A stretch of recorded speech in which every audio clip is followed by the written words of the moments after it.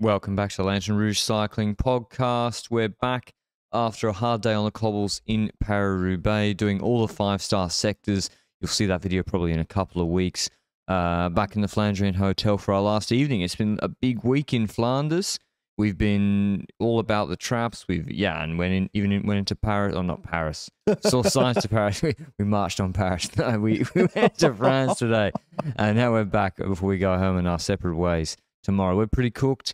And uh, this episode of the weekly show, which is back, has recaps of some of the Benji's local races, uh, or our local race, my local races this week. uh, Decathlon still being good. Previews of Catalunya, where Poggy uh, has his first big stage race this year. Harelbeke, Brugge de Panne, and Wevelgem as well. Armstrong banning hugs.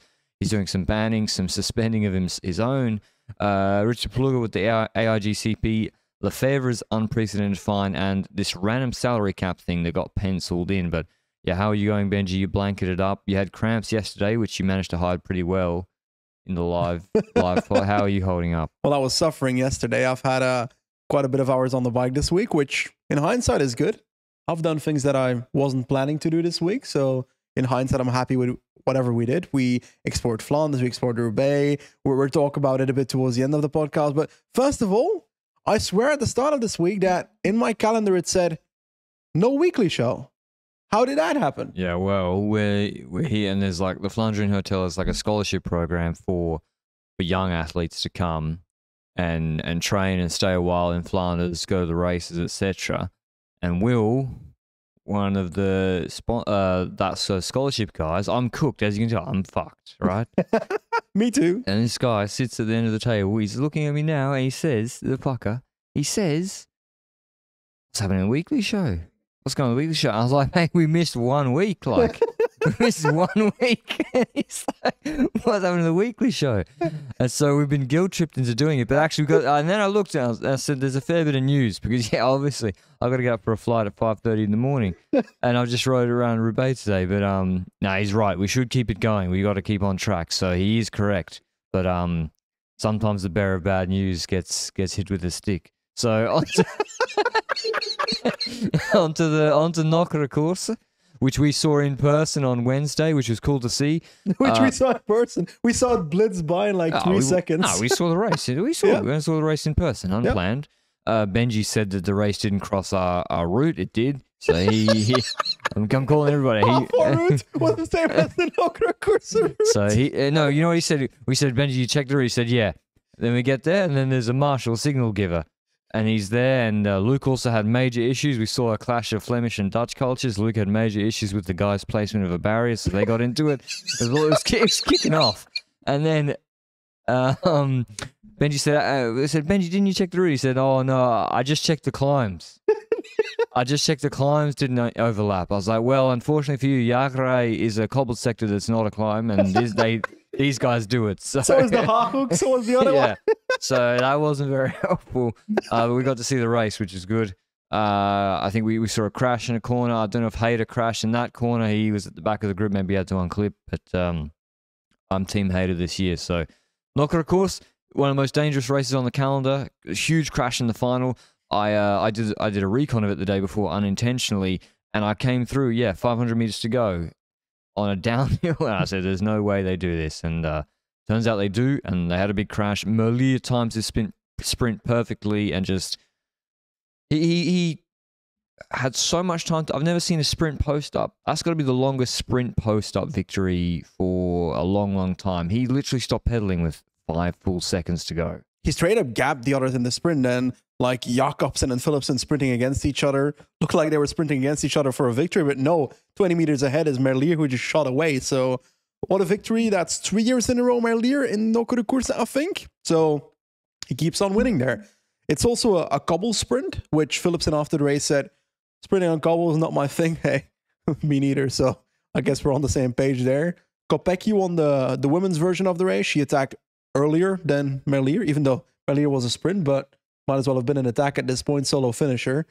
Kopecky also solo finisher earlier, also a victory. So, hey, Belgium keeps winning. Well, and if you go to Tim Merlier's PCS, his top results, the first result is three times winning Danilith Nokere, Nokere Koerse, not a Tour de France stage. So, Um, I, I guess, yeah, it's a it's a great race, but uh, yeah, it's a it's a dangerous one, that's for sure.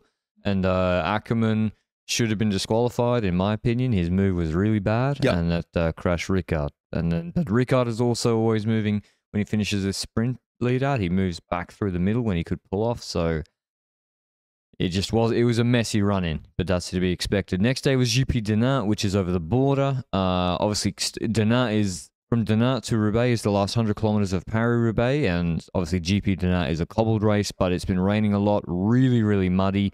Uh, there's not as many cobbled sectors as Roubaix. There's only 12. Uh, finishing in Denain, they do a loop, 199 k's, but they really jam them in together. They're, they're within about 60 k's after 120 k's into the race, 12 sectors. So you're hitting some pretty. A lot of them are different. Some of the uh, some of them are different. Some of them are the same. Like Saint Python rings a bell. Uh, The snake. apart the Python, yeah.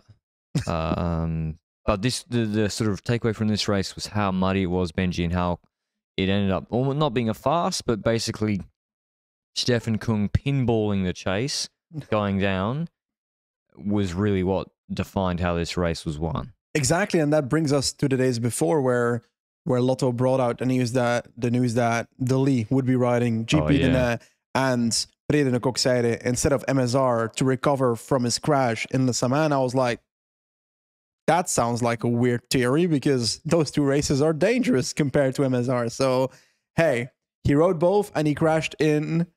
Well, he crashed in this race, GP Denain. He was in that group of Kung that hit the ground. So the breakaway won, like you said, Jannik Steimle taking a victory for Q36.5, I think their first victory of the year ahead of um ahead of who? Ahead of a man. Mystery man that Patrick is about to find out because my page isn't loading. Cyril de Salle from Bingo. Oh yeah. So yeah, it was three Belgians, two three four, and uh, Steimler. Q three six five haven't really in the Swiss team stakes, pro team stakes. Tudor have clearly outclassed them so far. Uh, this is their first Yeah. win of the year. It's, it's probably their first. It's their biggest win ever. I would say. I would put this race above Almeria last year. Uh, and the, team is only about eighteen months old. Wait. So Glasenberg is South African. Yeah, yeah, yeah. Uh Doug Ryder, South African, Q36.5 Swiss. is a Swiss company. Yeah, but Glencore, Glencore is Swiss. Oh, okay. This is Um, uh, it's getting difficult to keep track of why a certain team is a certain nation for, in my head. But hey, Gla- even Glasberg was uh, he's a South African, but yeah, he made all his money as a as the CEO of Glas of uh, Glencore, an Swiss uh, commodity trading company. So Oh, okay. he, I don't know if he has citizenship there, uh, but he certainly sort of probably resides there when he's has businesses there. So, and it's a good place to set up a cycling team as well. So. I don't know whether they even is that team a continuation of Qhubeka. Not Or- so really. for me, it's a new it's a new structure. yeah, it's a new structure, and I also don't feel like it has the same identity baked no, in. definitely not. Because when you look at the team, I'm not feeling the MT and Qhubeka vibes. No, no. And also, when it comes to the team itself, I'm still wondering if they're going to keep on riding on Scotts or whether Pinarello will be their bikes in the future. Because Glassberg, Glasenberg, whatever, Glencore man, yeah. he um he now owns Pinarello as well. So that's gonna be curious. But anyway, Bredene Koksijde, next up on the menu. Um Belgian chat GPT race, just like Noko de Koersen. I will say after like a week of doing loads of stuff, all these races like come hand in hand for me. I'm like, which race was the one where that rider did that thing? Lily was attacking with 100k to go in echelons. He was in second echelon. He was like, I see a front, first echelon ahead of me that I missed. Let me just attack from the second echelon to the first echelon like crazy and bridge that like a like he was the strongest rider in the race. And then in the final, he was leading out Taminio, who ended up crashing. Groenewegen was sprinting there, looked very strong with about 500 meters to go, with about 400 meters to go, with 200 meters to go. And then out of his wheel, the draft merchant of Arkea, he rises up and it's Luca Mozzato. He's winning. He's coming out of the draft, which is shocking. Also, because they made him not just be the last man to lead out the other day in Le Samyn, Yep. they had him second last. They had Mozzato, maybe Capio, Mm-hmm. and then Jente Ber-. Biermans. Biermans. beer man. You're drinking beer, so I wouldn't say Flanders, Flandrians call it zero percent beer. yeah, It's controversial, but that's true. they he gets his opportunity here and he wins. And also such a strange race, but also a really interesting race. We watched the finish here. It's like Gen Wevelgem has the Kemmelbergs Yeah. much closer to the finish. Yeah. And De Moeren, uh, which is like a flat, it's actually below sea level and completely exposed to the wind. So if there's any wind, and there usually is, because we're really in the northwest of Flanders here, and uh, on Koksijde or Bredene. So and the De Moeren is what it connects Ypres and that hilly area Yeah. with the coast. Exactly. So you have to go there, go through there. And Wevelgem has that flat area before the climbs, and the climbs closer to the finish. This race is the opposite. They do the Kemmelberg Mm-hmm. twice, one uh, Belvedere side, one Ossuer side, but it, it's like 100k from the finish. And then they went to that crosswind area, which you said, Benji. So a really difficult race, uh, it looked like, because of the wind conditions and also a crazy headwind sprint. Uh, we got to say the tactics of of DSM were really strange. They basically had Patrick Eddy, who's a good rider. He's been coming up sl- uh, progressively as a classics rider. I think he's always, I don't know if he's from Bendigo or Ballarat. I know he's from Victoria. He always does long rides in. I think it. I think it's Bendigo. He's from Australia. I mean, yeah, Tom Boonen's from uh, from Liège. Uh, Where did that come from? well, that's all the same, no? And the and You're in the Flandria hotel. You're saying that is all the same. and he didn't relay with Lampaert, Patrick Eddy. You got Lampaert, Mhm. Okay, not the best sprinter in terms of a classics guy, not the best sprinter. And then you have Patrick Eddy, who probably has to do, he's just got to give him a pull 20% of the work, 25%, and Lampaert will probably pull his pull all the way to the line. We've seen Lampaert, didn't he do it in Brugge de Panne? Where he had a sprinter behind and he towed two other guys with him who were relaying and they were quick guys? But also, even if he pulls more than 20, 25%, you've got Liepins and Degenkolb behind who are unlikely to beat the likes of Gerben Thijssen, Groenewegen, De Lie in, in a sprint on paper. Arvid de Kleijn also in the group. So, sorry, but Liepins is, is top 10 material for me here. Maybe a top 5 if he... top 10 is like, yeah, he just expected case. Yeah. And Gerben Thijssen came, won this race last year. Yep. And Ackerman, all those sort of guys. Tamino was fourth last year. No way. Liepins is not even a top five favorite for this finish. Correct. And and so for Eddy not to pull is completely insane. It's a dot pro. There's points on offer. Yep. I don't know if it was the team car because he did pull through once, and then it looked like the team car told him not to.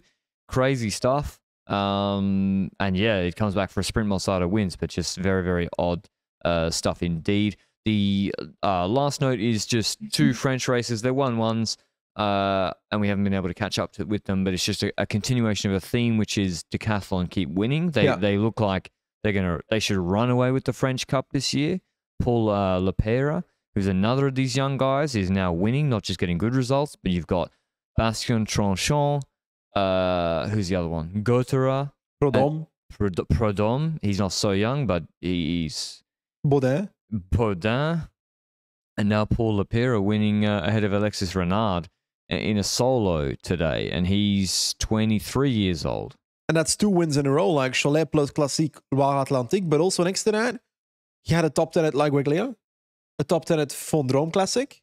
Like all those things together mean that he's continuously performing. And I wonder when that step up above those 1.1s will come in. Because like top 10s at 1.pro, wins at 1.1. At some point, he might.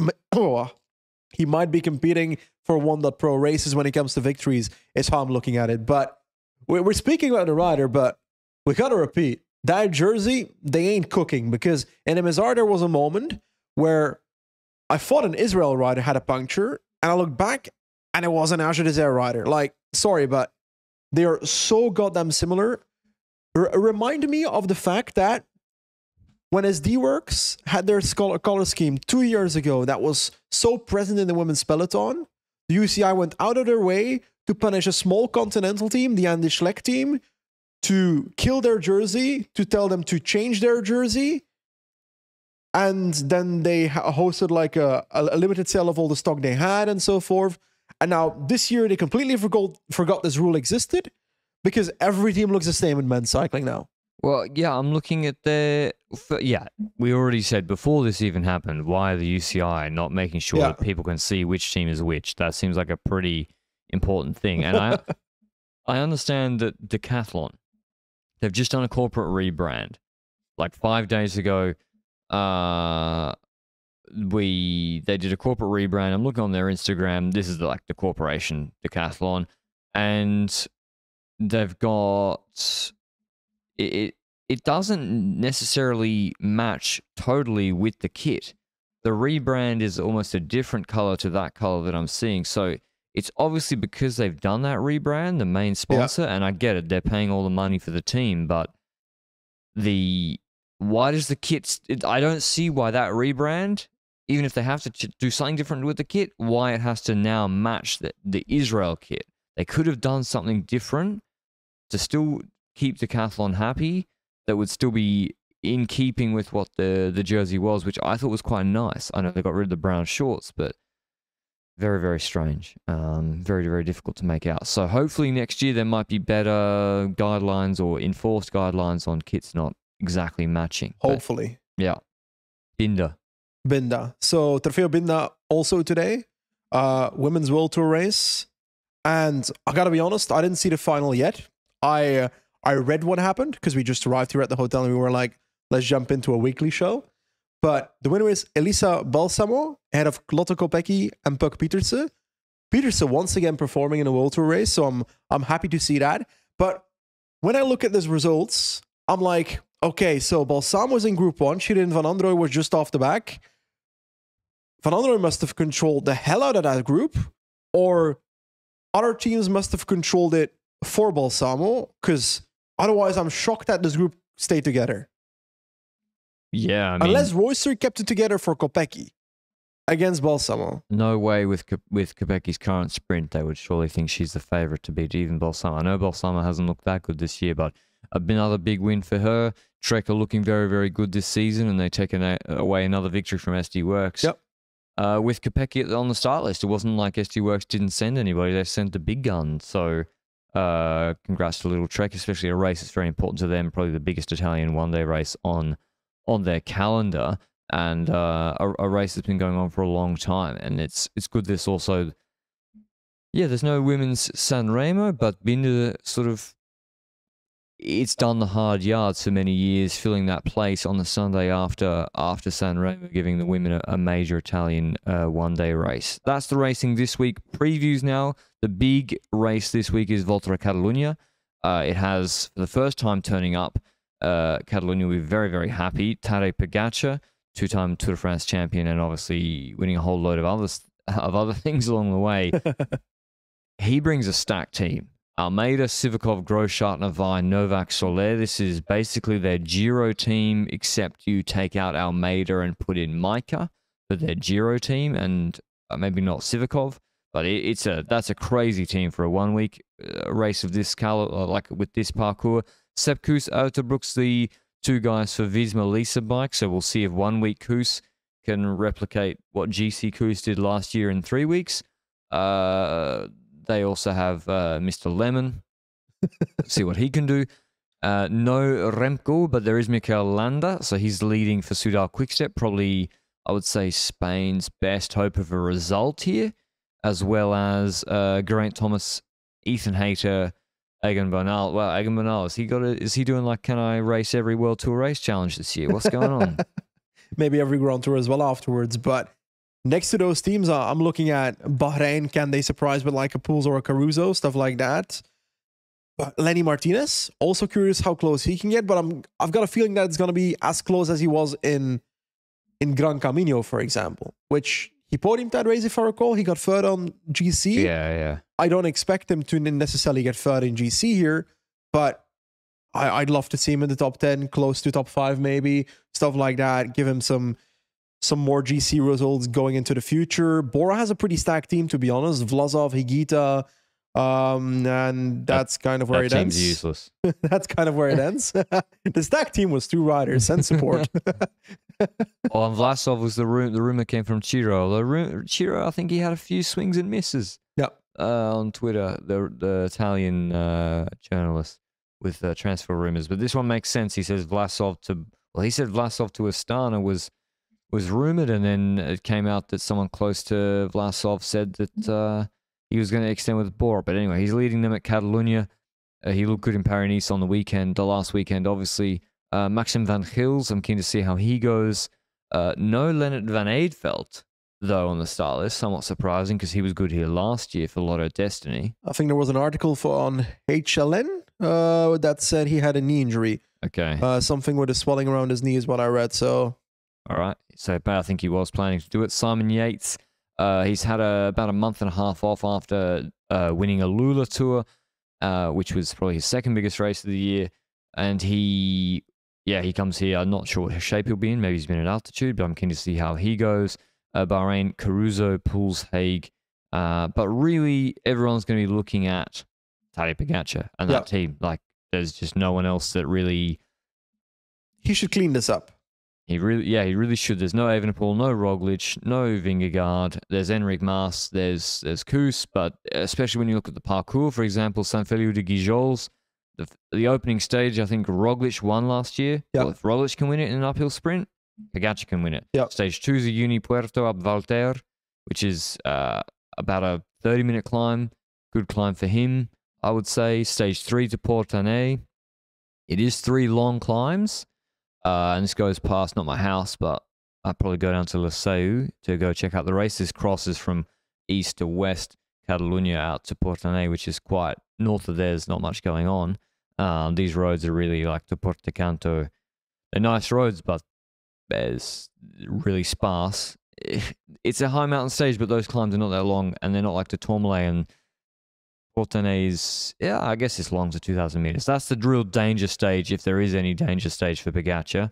Uh, then there's a couple of Kaden Groves style sprints. I think he's out of the race, uh, maybe with an injury. We haven't really spoken about the sprinters. There is a, a 6.5k, 6% climb uh, on stage five, not too far from the finish.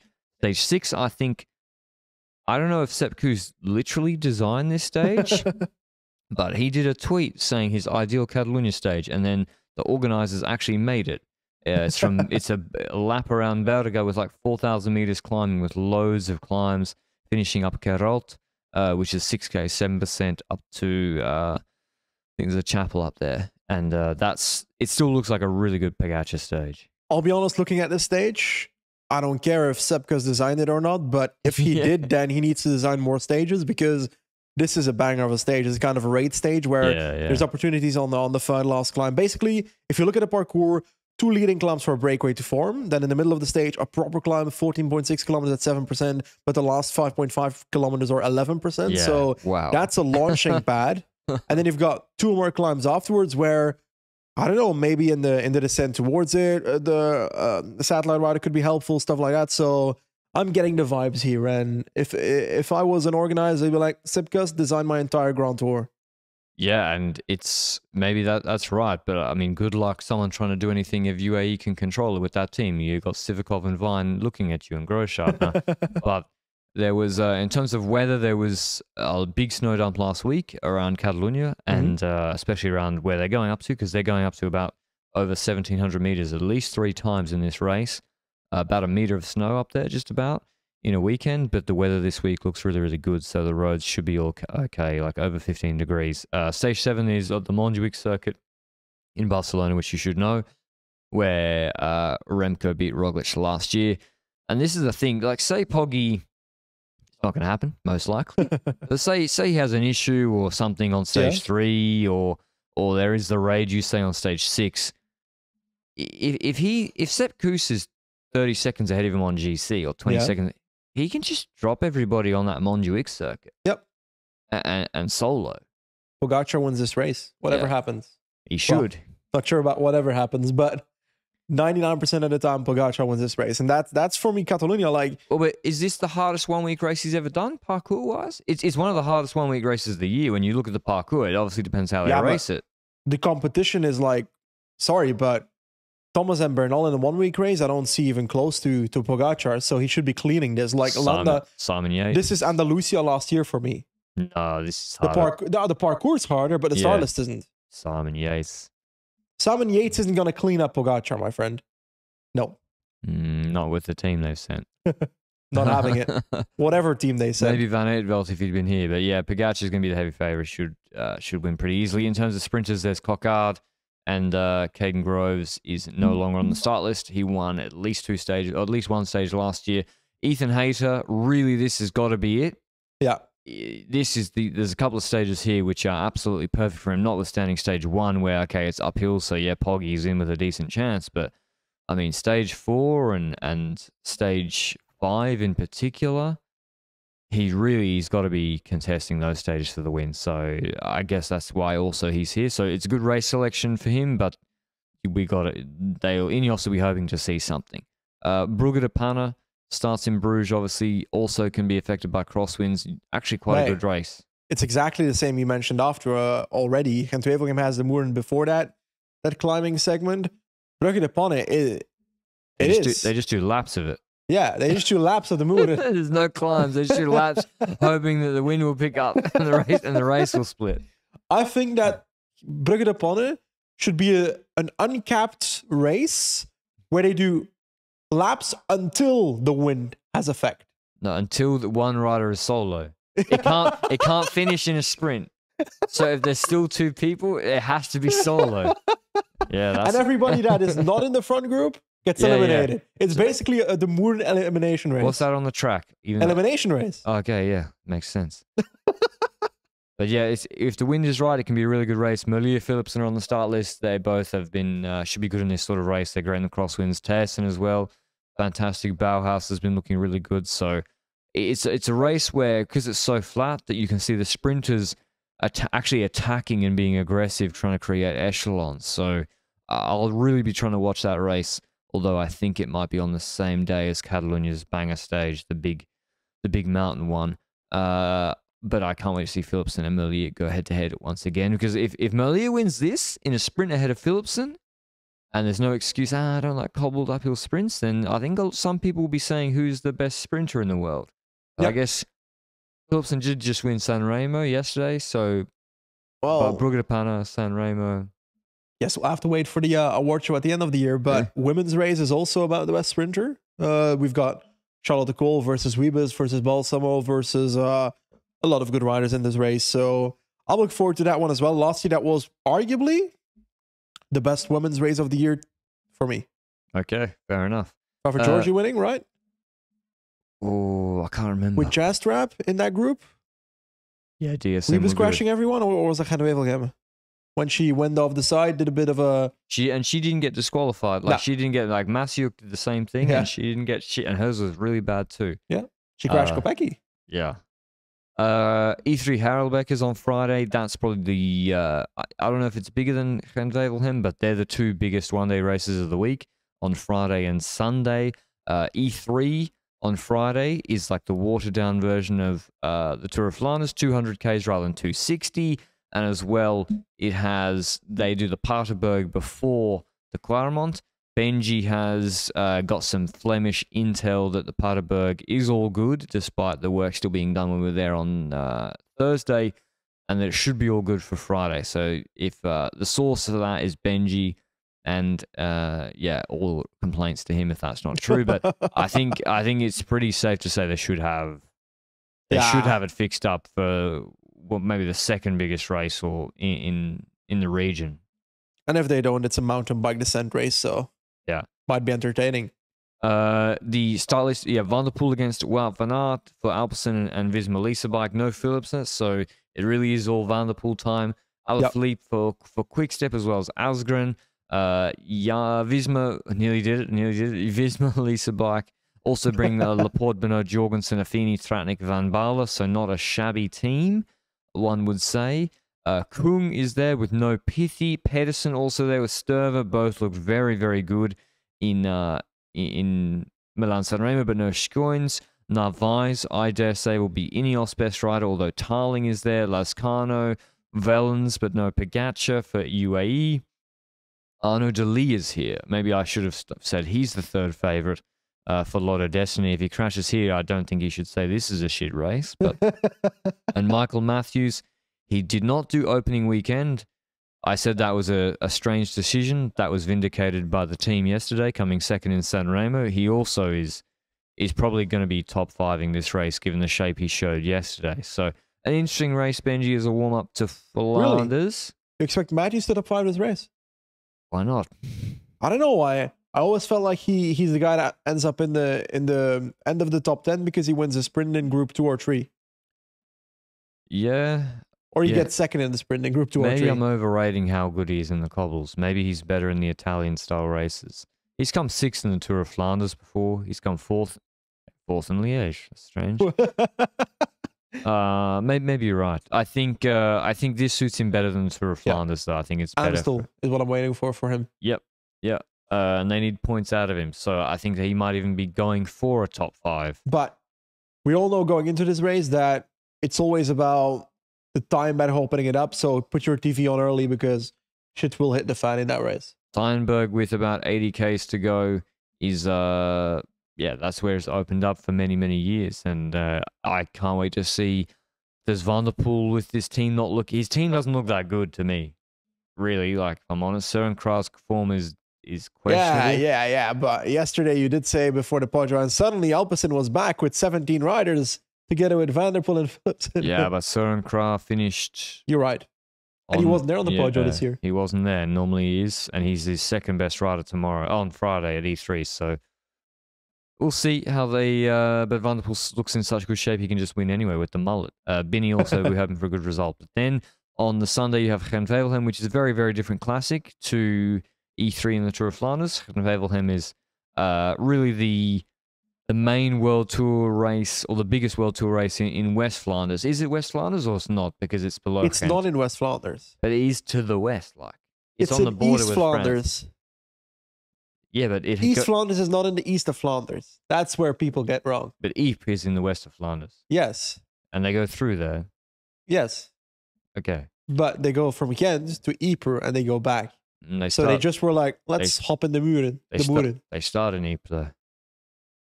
Oh yeah, they moved the start to Ypres. Well, it's Yeah. getting difficult, man. They start in Ypres, Menin Gate, which I think is quite a nice start. Actually, it's very iconic.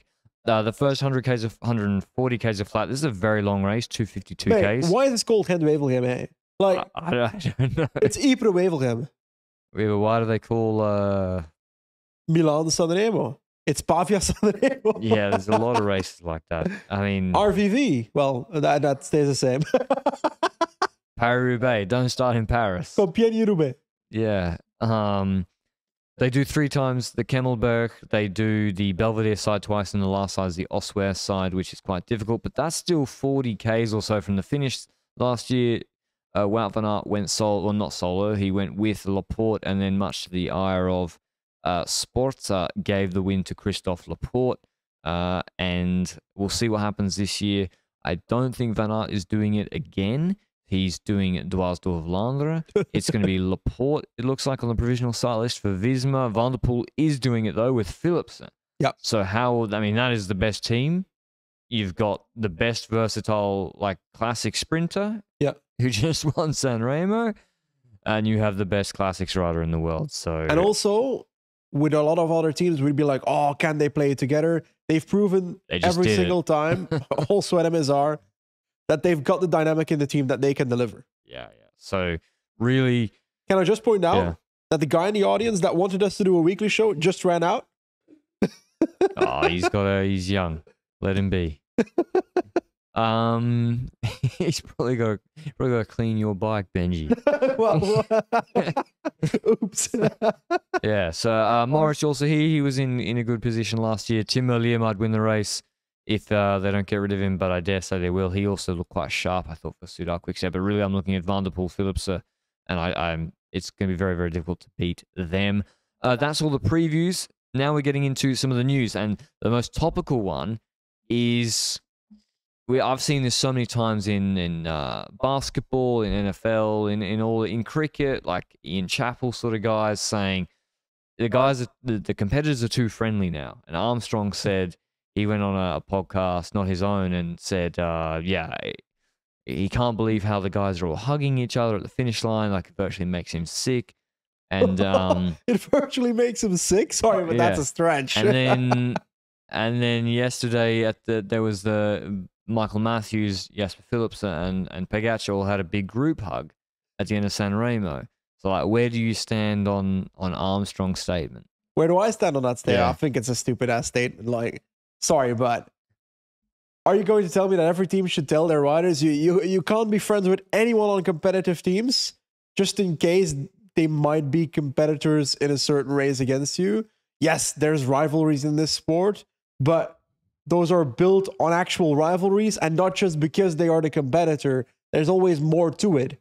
Sorry, but I don't necessarily see Pogacar, Matthews, and and Philipsen as the the one-on-one rivalries like that. Yes, we see Pogacar and Vingegaard respect each other after the races. Are they having a coffee with each other every weekday? No, they're not. Like, Yeah, but don't you think there's also a difference there? Vingegaard, I don't think Vingegaard thinks it's necessary to go high five each other or like well, after every mountain stage. every single mountain stage, Jonas is literally having his phone in the air, looking for the GPS to call his wife. That's what I mean. He's like he's just sort of in his own world. Um, Yeah, but I don't hate it that riders are mature enough to see the difference between a race and real life. the race is real life. There's money on the line. Yeah, that. No, it isn't all about the money. It's also about also our reputation. It's also about your reputation in the peloton. If you're Pogacar and you're like, ah, th- this Vingegaard guy, congratulations, fuck that, not giving him a hug, not giving him a hand. Like when he gave Half of the, he gave Van Baarle a nice hug after Tour of Flanders 2022. I think. half of the peloton will start disrespecting you or disliking you if you're a, an asshole in the peloton. So Yeah, yeah. there's also peloton dynamics involved there. Like they also need to to keep relative allies in Oh. certain races. Yeah, but I'm not saying no. But that's diff- that's a different question. Like not being a dick in the peloton, chopping somebody. I think it would annoy riders more if you're an asshole in the bunch, chopping everybody, being a nervous wreck, doing stupid shit, and then after the race you're like all buddy buddy.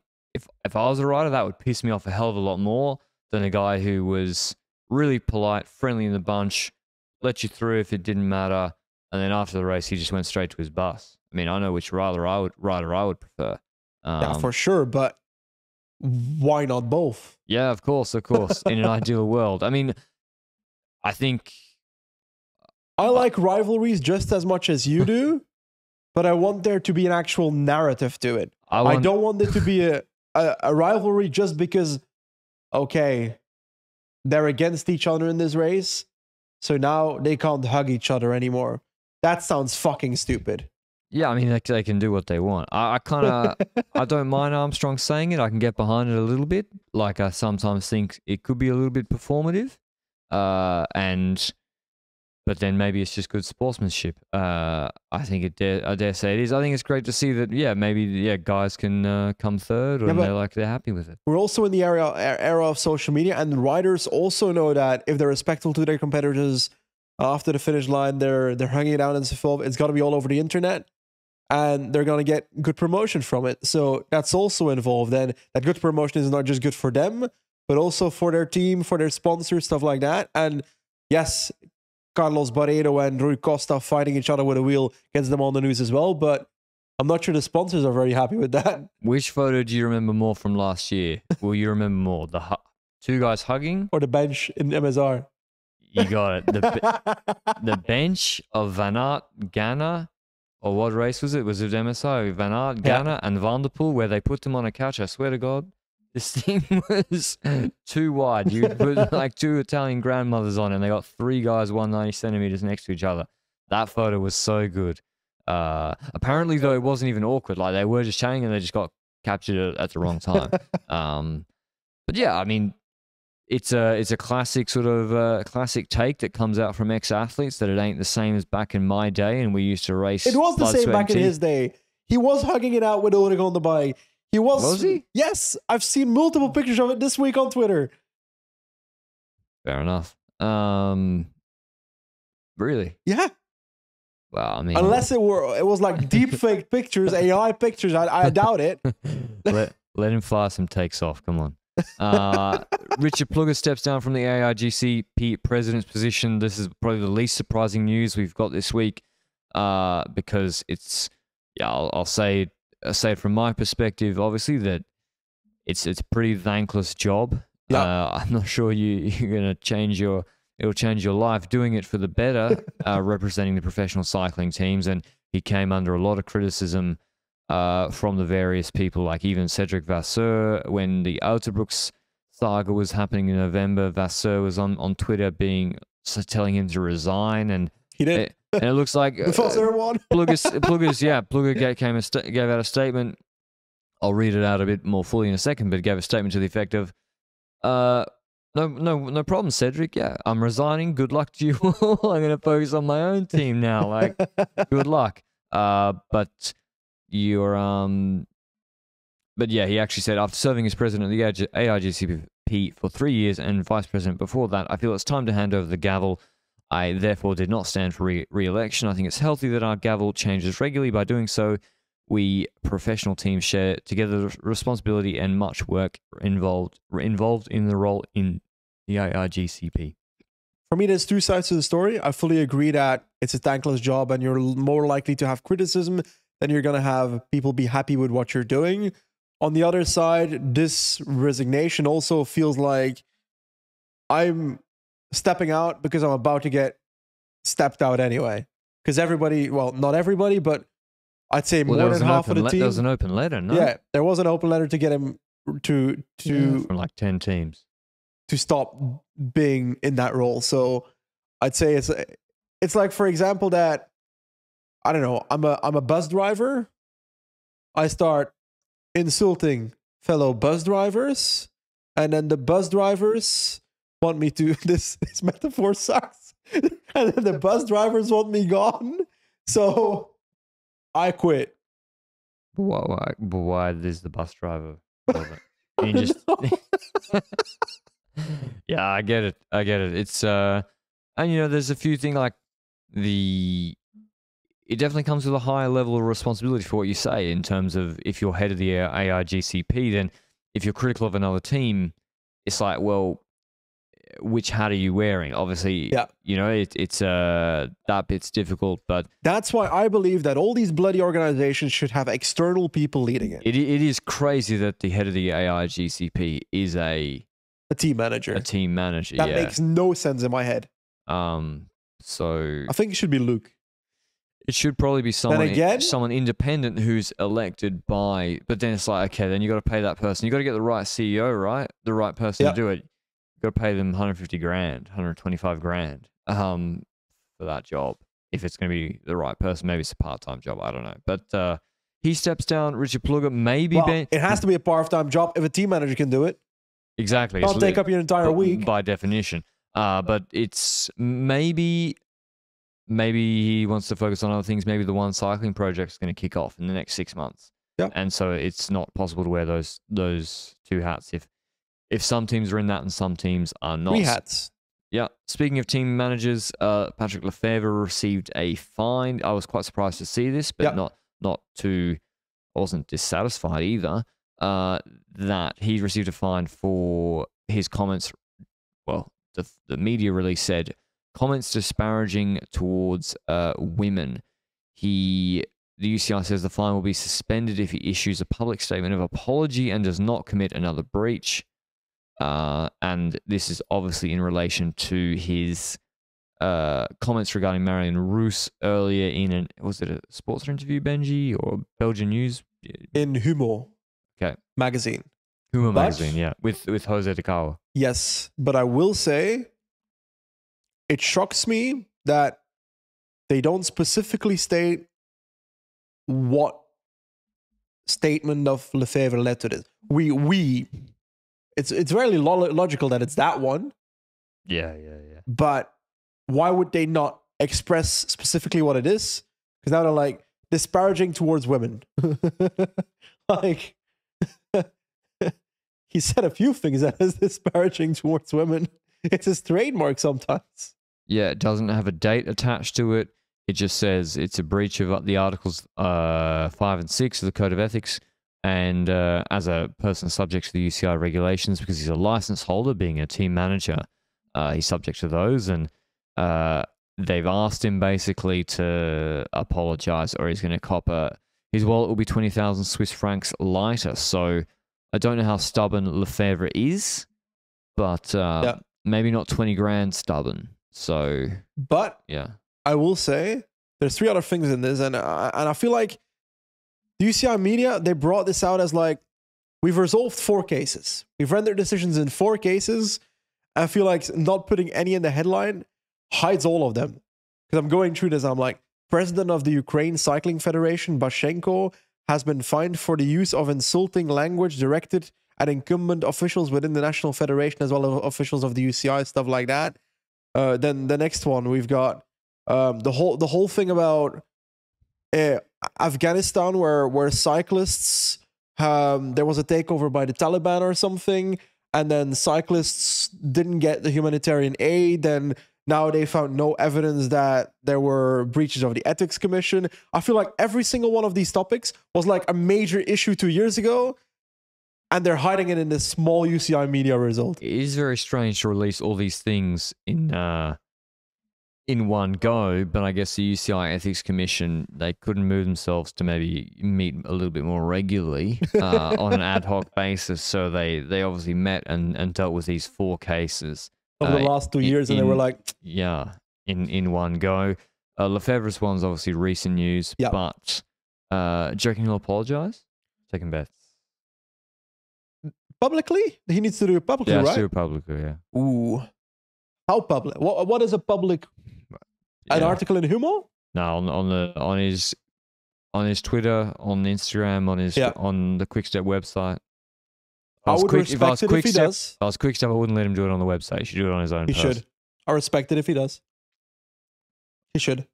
Uh, I think he will not do it. Principles. because it is unusual. I've not seen a fine like this before. Will he go Uh, to CAS for it? No, That'd no, be no, That lame. will cost you more. Uh, it's not, but depends. Depends. Uh, maybe he will. I don't really know the guy. Anyway, time to talk about money.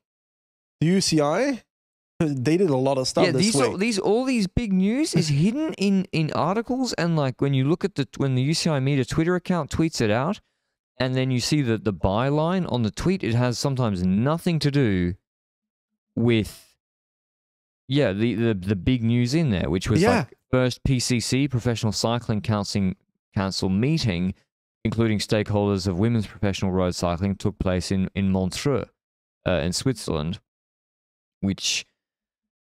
Uh, but the big news, which that was like put up, that was the big news, which is great. But the the big news was uh salary cap. on the financial front and an Yeah. extension to the reform of the organization of professional road cycling in 2018 the principle oh my voice of implementing a budget cap for teams was approved so a salary cap The principle of implementing a salary, yeah, what does that mean like that they should do it, and now for the next eighteen months they'll look at how they should do it. A working group. So, and that, that's literally what it says. Yeah. A working group will be set up rapidly. So they'll get some cap experts in. Uh, US fans will know what that means, obviously because their sports are subject to salary caps. Uh, rapidly to present measures to the UCI Management Committee with a view to their application from the next renewal of teams, UCI Women's World Tour and UCI World Tour licenses, i.e., for the next cycle. So for the next cycle, 26, 27, 28, there could be a salary cap. Now, the, the idea that the CPA would agree to a salary cap is very surprising to me in a team, in a sport where there's supposed to be, you know, limited money or not unlimited money, that they would just agree to a salary cap. Surprising. Uh, because it's it should. I mean, unless they make it like baseball, where it's just yeah, there's a salary cap, but it's really soft cap, and basically the big teams just spend anyway. Um, and then the UAE can still have a, they can have a massive budget and pay a luxury tax. I mean, they're gonna have to go into all this stuff and enforcement of people. This is not like it's in the US or North America where they're all in a uniform, uh, uniform, uh, legislation.